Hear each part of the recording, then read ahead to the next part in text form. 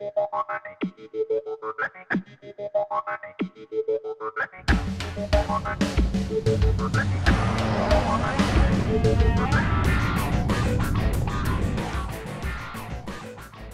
hello everyone, and welcome to Amerzone.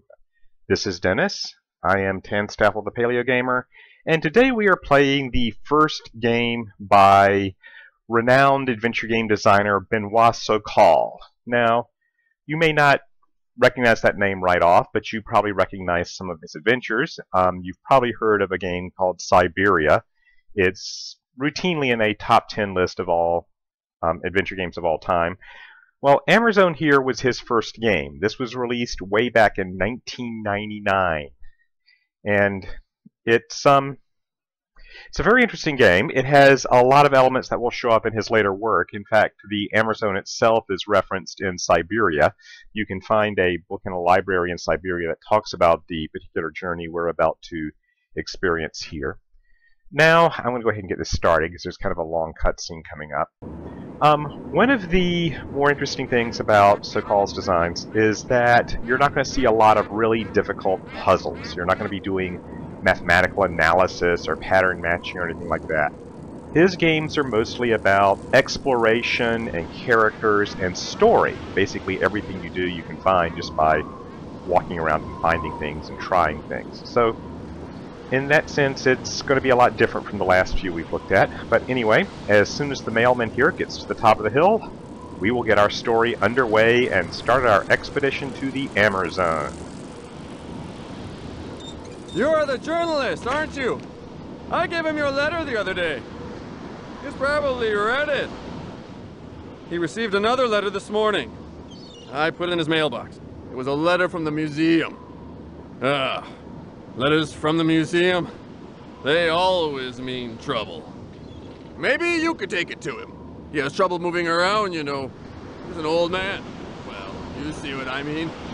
If you want my advice, you should see a doctor. Well, that's what I think. Well, yeah, no one asked you what you think. Okay, where did you go? You were right here. You were right here five seconds ago, and you weren't pedaling that fast. Okay. Well, we're here somewhere on the coast of France, actually. There is a lighthouse up ahead. Um, there's a little telescope over here. We can look at the lighthouse if we like. And that's about it.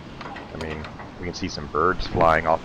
we can see some birds flying off into the distance, but that's about all we can do here. It's just the first interactive thing we do. Um, now for a... Oh, here's the letter we were talking about. We may as well look at it. Um, the letter is basically from the Natural History Museum in Paris, and it basically says that they are turning down Monsieur Valembois' request for a new expedition. Apparently he led an expedition back in 1936, which was bitter disappointment and mockery, or res resulted in bitter disappointment and mockery and the museum feels that he has a habit of undertaking adventures which have adventurous fantasies supplanting strict scientific rigor. So basically they think don't think much of Monsieur Valembois. But we're a journalist, we're apparently here to talk to him for some reason. This is in a lighthouse, that's a little bit different. Um, go inside. And let's go upstairs and take Monsieur Valembois his letter. And this is him over here. And let's have a little talk.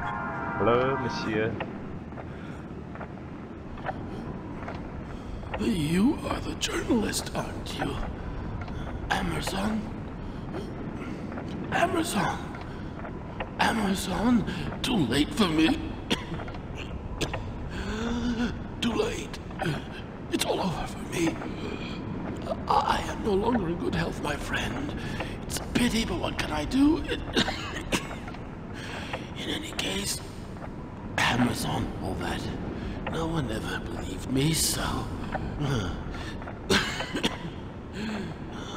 After all those years, it's incredible. The egg. The egg. The egg. It's still alive.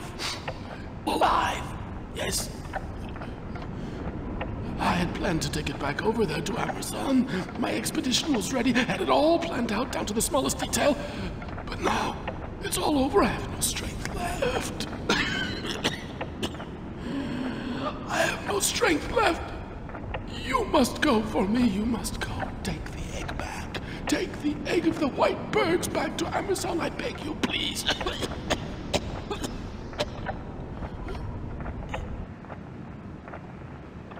and it appears that Monsieur Valembois has now passed away. But his dying request was that we take the eggs of the white birds back to the Amerzone, which we actually have no idea what that's all about at this point. And he is saying Amazon, not Amazon, even though they're obviously supposed to be relative to each other. So let's see if we can figure out what in the world it is that we're supposed to be doing. And why does that clock have no hands on it? Okay, that is bothering me far more than it should. Alright, um, let's start by looking in this drawer over here. We have some paperwork in here. Over here, there is some expedition things and a picture of a woman who is obviously important to Monsieur Valembois. Her name is um, Yukamani. Yukamani in this picture was taken in 1933. So um, I said earlier the game came out in 1999. The game is actually set, apparently, in 1999. He has a picture of his lighthouse up here. Um, there's nothing else we can do down here. There is a telephone over here. We can use it to call the museum and hear them mock more. There's not much point in doing that. We also have up here, this is his office, I guess. There is a journal here this journal is the record of his expedition to the Amerzone in 1933 through 1936. And we can go up this ladder here. And there's this tiny little loft up here with a desk. And on the desk is this letter. It's also a stuffed alligator for some reason, but whatever. What's a desk up on a little ledge like this? Alright, now we have all these letters and we have different things. We have this journal which goes into a lot of detail about his um, expedition. We're going to be looking at this later on because it's got some information we're going to be needing. And we have this letter which is basically his last request to us. And there's a lot of information here, so let me see if I can summarize it. In 1933, um, Alexander Valembois with two friends, a priest named Father David Makowski and a law student named Antonio Alvarez went on an expedition. They went off to a place called the Amerzone, which is apparently somewhere in South America. When they were in the Amerzone, they made a lot of interesting scientific discoveries of things that had not been seen anymore. They went to the village called Puebla, and while they were there, they befriended some of the native tribesmen there. One of the people they met was a woman named Yakamuni. And Yakamani um, fell in love with Valembois, and he fell in love with her, and they became lovers became very important to one another. But while they were there, he witnessed a strange ceremony involving a very large white egg, which a child of the village brought in. And he found out that this white egg was the egg of these great white birds that lived in the area. And these birds were had almost mystical importance or mythical importance to the natives of the area. And they um, the birds only ever produced one egg per generation, and all of the birds from that generation would hatch from this one egg. Well, he thought this was um, interesting. Noticed I picked up something. And um, so he decided he wanted to. This was what he would need to bring back with him to make his um, mark on the scientific world. So he followed the um, same journey the child had taken and went to this great volcano and he found a found an egg and he left Yukamani behind, he left his friends behind, and he brought the egg back to civilization so that they could um, see this great discovery he had made. and that door is locked. And anyway, the problems started thereafter. The his friend um, Antonio Alvarez became a dictator. He took over the country and he became a dictator and he became determined to modernize it and bring it into a world of logic and rationality. So he tried to stamp out all the native beliefs and religions and mythology, including the story of the white birds. And Father Markowitz did the same thing. He was trying to teach him the ways of the Catholic Church, and again, trying to stamp out their native religions. And this has apparently caused a great deal of suffering and hardship in the Amerzone. And he now believes that the only way he can do penance and repay the great wrong he did, which he caused by taking the um, white egg away, is to return it to the Amerzone so that the white birds can once again fly. Because, as I said, the egg only ever hatches, all the birds from a generation hatch from a single egg, and he has it. So all the white birds are currently gone, unless he brings it back. Well, if you notice while I've been talking, I've um, gone down into this tunnel system under the lighthouse, and I hit a locked door. In order to unlock the door, I'm going to have to start solving the puzzles of the game. Now this first puzzle, I just have to turn this power on, this power on. I can turn the computer on, and pick up this disk. And here we are looking at the, there we go. Here we are looking at the Hydrofloat operating system. And trust me, this computer is ancient even by 1999 standards. Put the disk in, and it asks for a password. Well, we don't know what the password is, but it's six digits in pairs of two, and it's all numeric. Well, let's look at our journal and see what we can do. Well, the first thing we hear, or see here, is that Alexander Valembois was born on the 28th of June in 1904. That's six digits in pairs of two, 280604. So, there's a good chance that that's our password.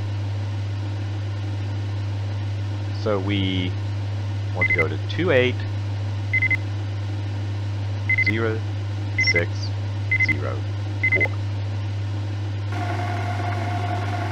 Don't think about that for a minute. Tell us to authenticate, and we're good. And for the record, that is a 3.5 inch floppy disk. That is what we used to store data on back in the distant past of the late 20th century, back when dinosaurs ruled the earth. And we heard a door open. So that door down here is open. And I have to ask one thing about Alexander Valembois. He's apparently an anthropologist. Before I go any further, there's a metal rod on the floor here that we're going to stop and pick up before we get into this elevator. This guy's an anthropologist. He lives in an he lives in a lighthouse. He has this network of tunnels and locked doors and computers underneath his house.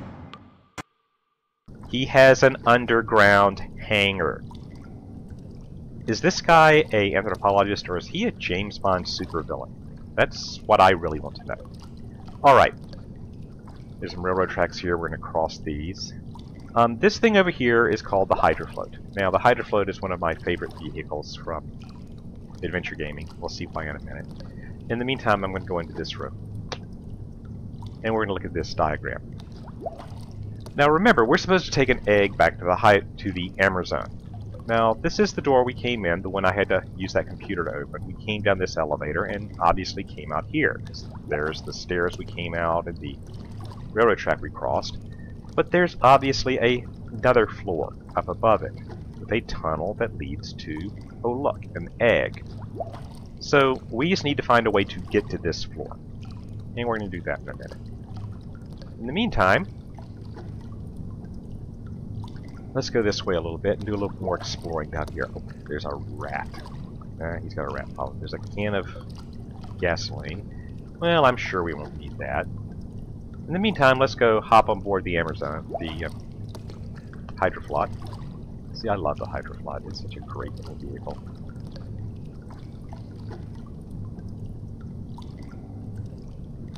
And we're going to want to put our floppy disk into this thing. And load it. And this will tell us our status and tell us everything we need to be doing right now. Now you see the Hydrofloat has lots of different modes. It can be a plane, it can be a sailboat, it can be a submarine, it can be a boat, it can be a grapnel, okay, or a helicopter. Now most of these are not available right now. In fact, the only one that is available right now is plane. But when I do this, it says I'm okay on fuel, but I have no details and no egg. And then for details, it wants a three-digit number. Well, we don't know what it wants yet, so let's do a bit more exploring to find that out. What I'm going to do is walk all the way down this tunnel. Now when I get to the end, there's another side tunnel here. And let's go up. Now that didn't actually move me, that just closed the door. I actually have to get closer and look at the push the up button.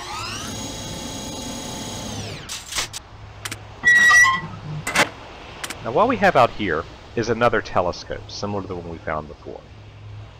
Now, we need to start looking at the journal. What the journal will tell me is that he first became aware of the Amerzone because of the Amerzone goose. And that Akowitz and Alvarez watched the geese fly up towards the Amerzone, so that's the direction they're flying in. Now he built the hydrofloat that we just were exploring to follow the geese. Now, there's one thing here. Notice that the geese are flying this way. But he apparently wants to fly this way, to this little atoll here. That's a 5 degree shift. We just need to be aware of that. And this thing uses a disk and was built in 1933. What kind of computers did they have in 1933? Is a mystery. Alright, there's some geese flying, and they're flying in direction 140. Now remember, I just looked and said we have to add 5 to that, so we have to go in a direction 145. We got That's um, obviously the direction. That's what we need to put in for the details. Now why they call it details and not direction is, well, your guess is as good as mine. Alright. And that took a long time to control that. Okay, Now we have the details, now we need to go get the egg. I can put the enter the details in now, but I don't, need to. Um, the egg we know is at that halfway point on this elevator. Now, let's take the elevator back to the top for now. See, I can even turn around, and there's no way to stop the elevator along the way. There's, I'm not in control. So I have to find a way to stop the elevator mid-travel. Well, the way I can do that is, if you notice there's a little hole right here on the floor. See right there?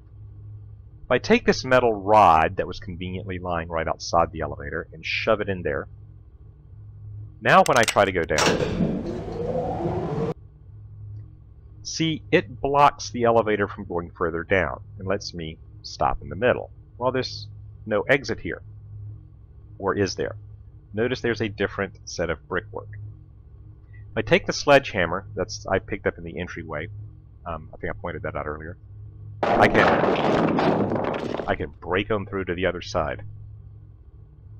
And I feel like I should have shouted, oh yeah, as I did that. Alright, and here we have the egg. It's been sitting in this little shaft of sunlight on what looks like a Mars rover or something. Over here, there's a thermometer showing it's at about 30 or what is that? Uh, that 10 degrees? I can't tell. Um, so it looks like about 10 degrees. Thermometer's backwards. Huh. Okay. But we're going to assume the egg is still viable and safe because he told us it was. So let's pull this lever and send the egg on its way.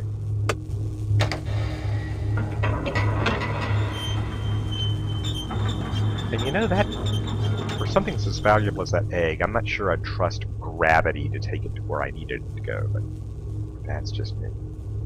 Alright. Let's make our way back to the elevator. Now, we're going to have to send the elevator up, remove the rod, and then send it back down. Okay, we now have the egg and the directions. We just need to get them both into the hydrofloat.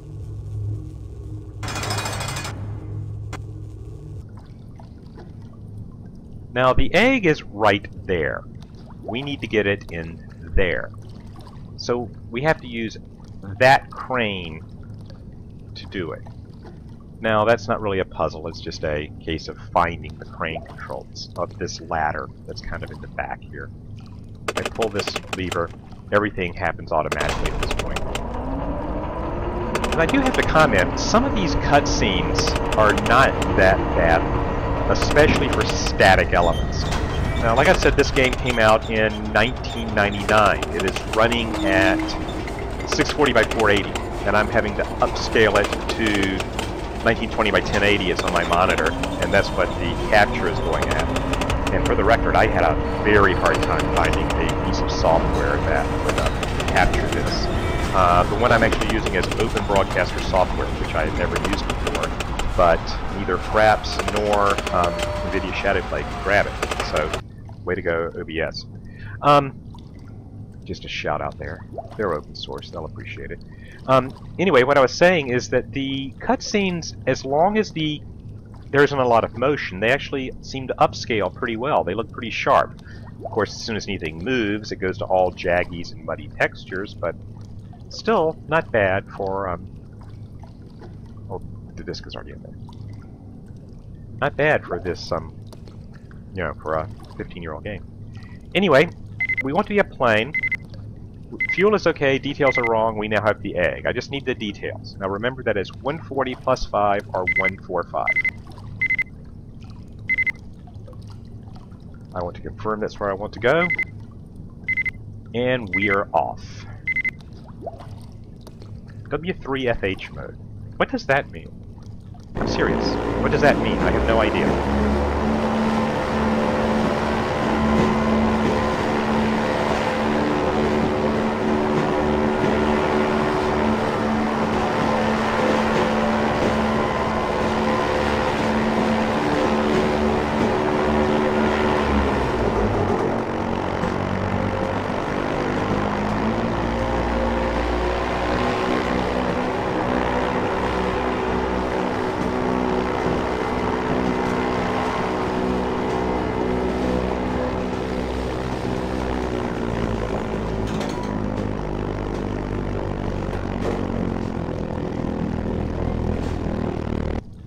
Guy has a hidden hangar with a launch ramp under his lighthouse. He's definitely a James Bond supervillain.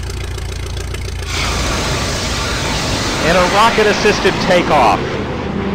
Yes! I think I'll build one of these in Kerbal Space Program. I love the Hydrofloat. Anyway, we are now off and on our way to the Amerzone.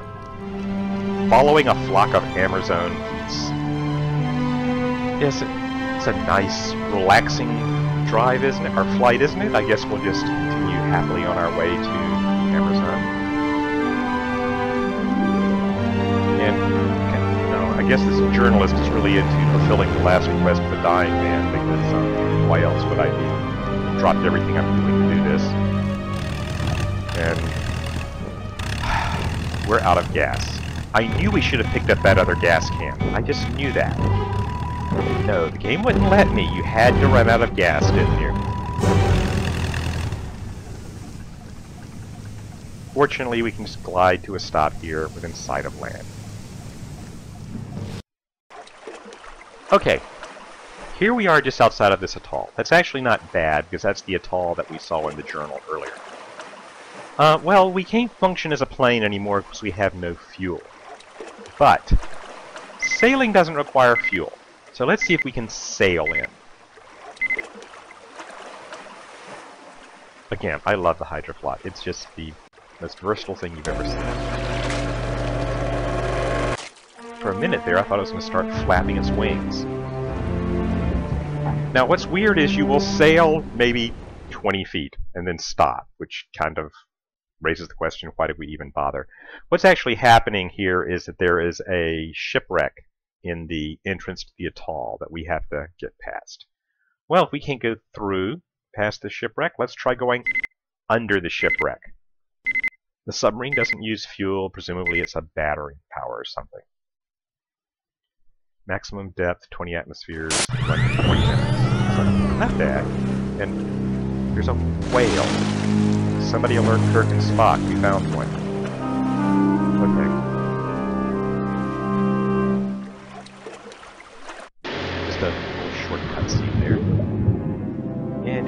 Underwater. Bye-bye whale and sail through and... Oh, great job breaking it, hero! Gee, as if there wasn't enough problems.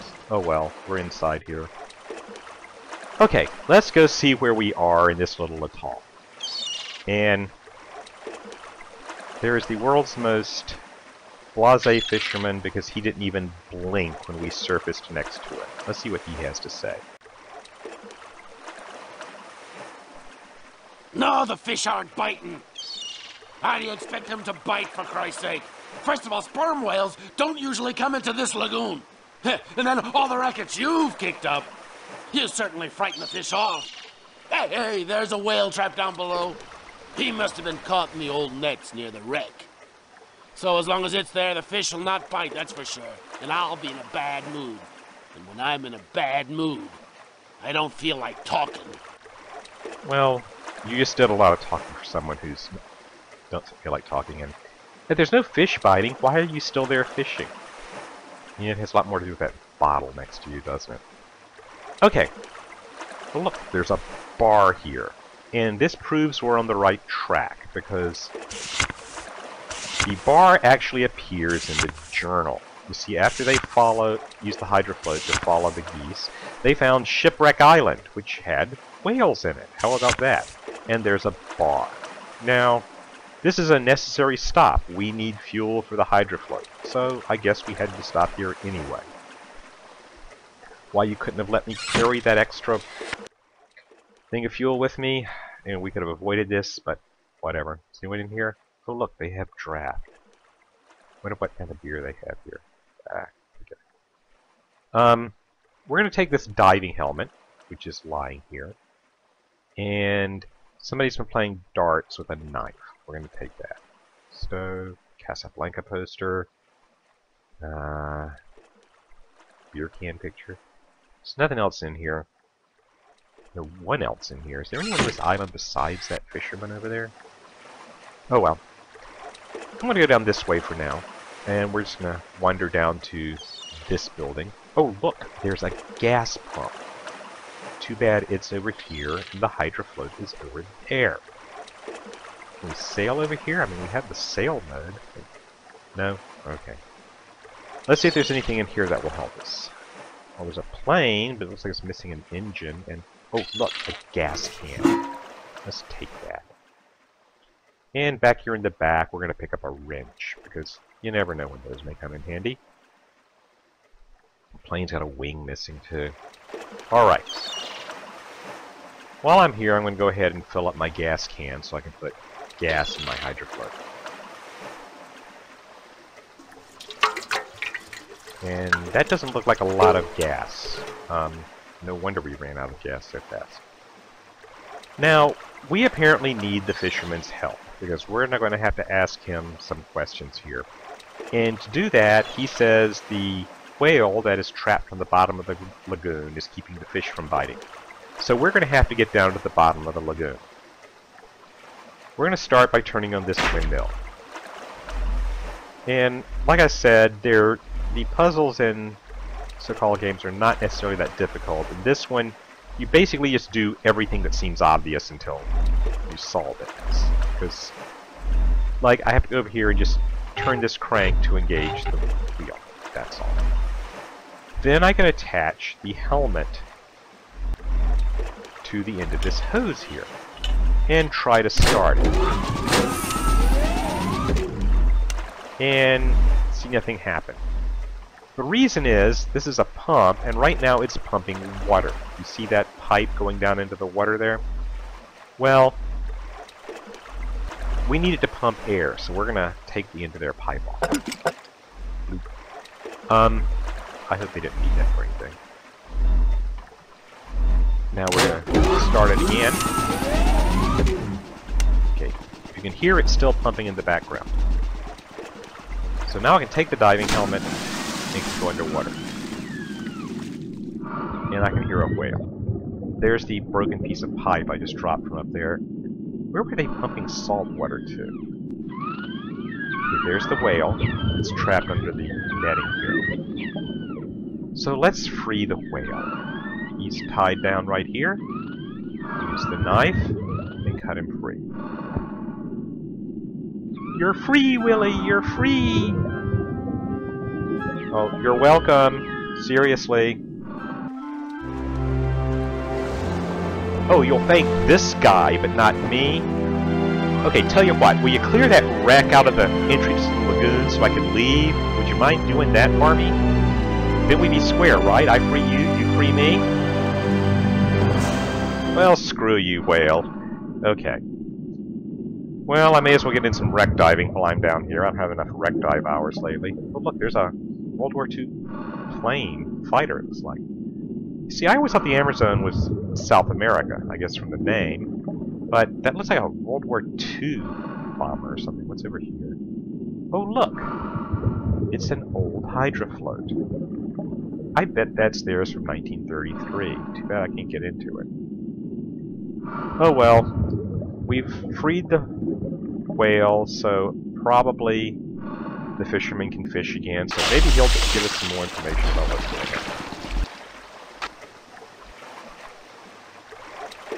So let's go talk to him again.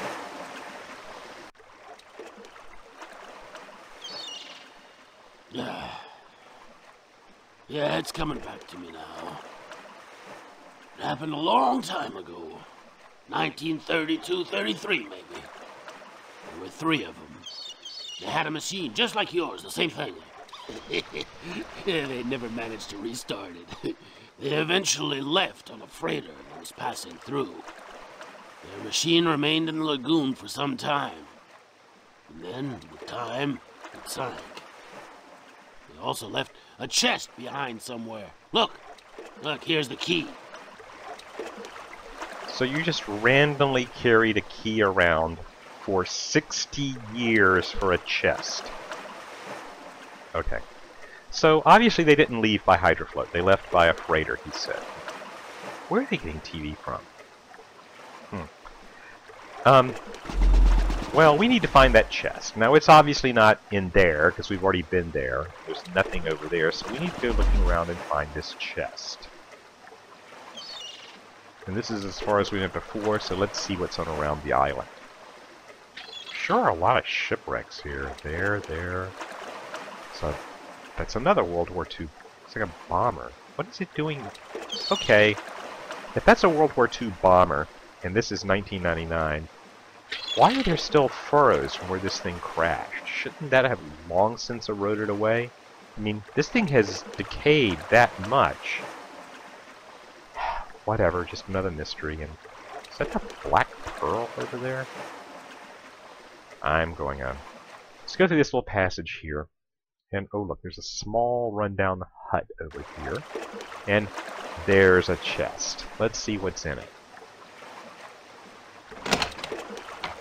Another disc. Okay, has that disc been here since 1932? What kind of disc were they, or computer were they using in 1932? Who knows? Oh, we do have a picture on the wall here of Valembois, Mikowski, and Alvarez. And I'm sorry, Alvarez, with that mustache and that hairstyle, there was no way you were not going to be a dictator. Yeah, 1932. Yeah, he was going to be a dictator. He was kind of genetically fated to be. Alright, so we have the disk and we have the, um, have a new disk.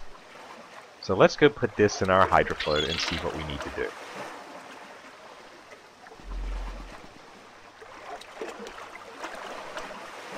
Back on board and load our new disk.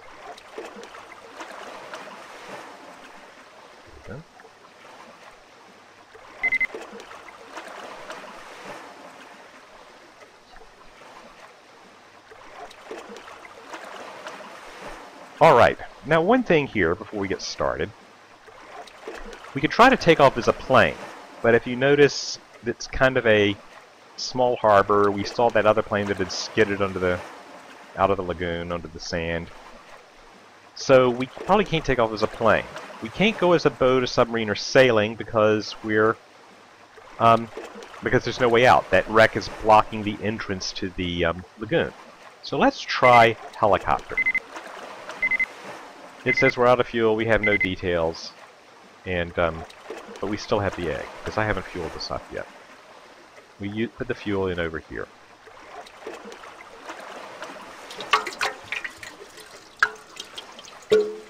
There we go.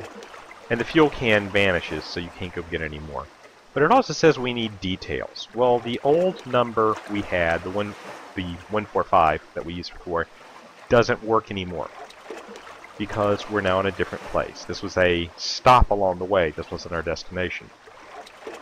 But if they had planned to leave in the old hydrofloat, maybe that old hydrofloat has the coordinates we need to follow to get there. So we need to look at it.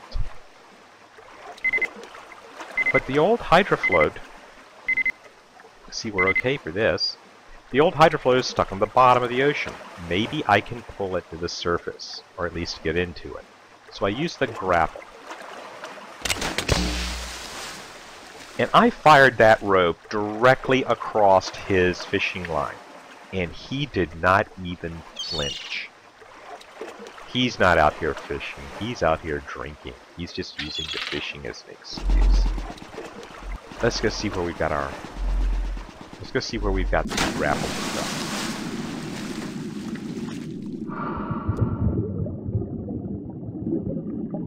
the grapple. Okay, now it's attached to the old hydrofloat. There's actually a little bit more you can wander around down here so you can go look at other wrecks and that sort of thing. This would be a... This place existed in reality. It would be a great um, wreck diving place. She needs more fish now. I guess he's fished all up the way. Alright.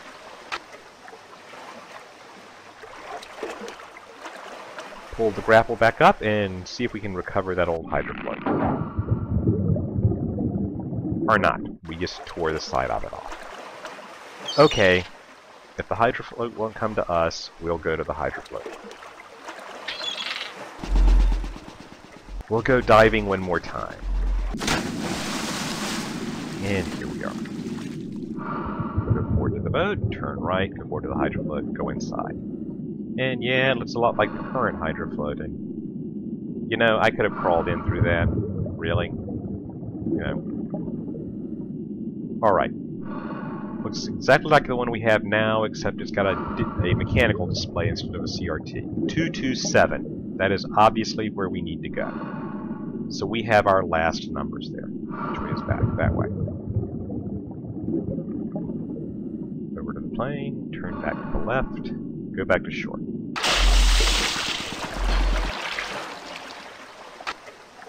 Alright. All I have to do now is enter the numbers. We need to play helicopter. Oops. We need to play helicopter. Fuel is okay, details are wrong, egg is okay.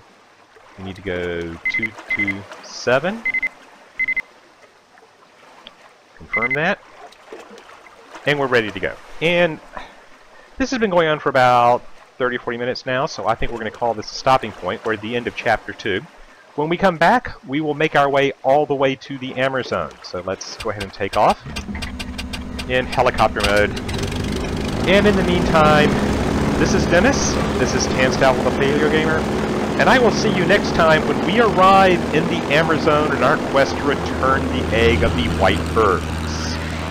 I will see you there.